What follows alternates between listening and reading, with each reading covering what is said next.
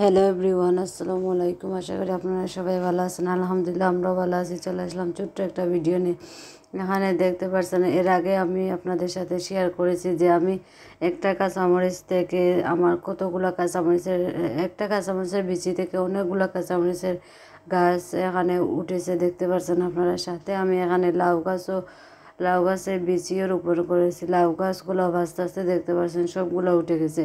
এগুলো আমি পরবর্তী সময় টবে, আলাদা আলাদা টবে আমি এগুলা সরিয়ে নেব। এখানে দেখতে পাচ্ছেন অনেকগুলো একসাথে উঠেছে। এই যে লাভের গাছটা, আমি এমনিতে এই গাছগুলো এইভাবে রোপণ করে রেখেছিলাম, ভাবছিলাম উঠবে না। এখন দেখছি আস্তে আস্তে সবগুলো গাছ আমার উঠে যাচ্ছে।